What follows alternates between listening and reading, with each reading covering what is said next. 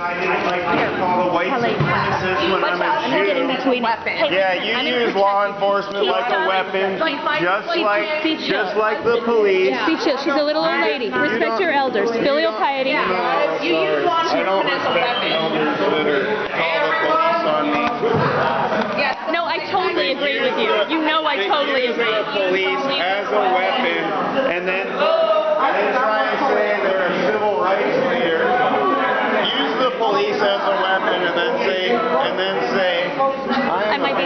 be big false civil advocate. rights advocate. Yeah, it's too. You were, I haven't. That's. I've been out of town. I can't handle this stuff. It makes me livid. It makes me livid.